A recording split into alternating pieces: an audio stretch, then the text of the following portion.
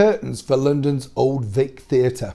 Hi, Neil Sean here in the heart of London. Thank you for joining me today. That is one of the stories breaking out of London today. Now, let me explain.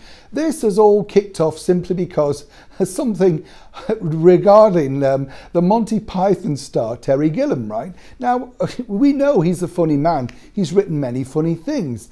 But in this woke world, apparently, somebody's been offended by the fact that he's going to be co directing, producing, or was, the Sondheim classic Into the Woods. This was about to premiere at London's Old Vic Theatre.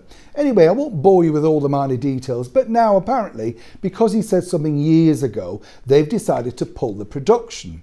Well, this has backfired as it always does with things like the Old Vic. Now, I don't know if you've ever been to the Old Vic in London, but you know, I've seen livelier corpses sitting in audience seats. The productions that they do are very worthy, and most of them, of course, are funded by the Arts Council of England simply because they're always asking for money. But guess what? They turned down thousands of pounds by letting this production walk out the door. As I say, this is all to do with basically a statement that Terry said quite a few years ago now. Now, here's the problem. If you're running a theatre, you need people to come in. Theatre's all about creating new works, old works, disturbing the peace, getting people to talk about your product. But it appears in this woke 21st century society, you're not allowed to do that. And Terry, I love this term, has found himself cancelled.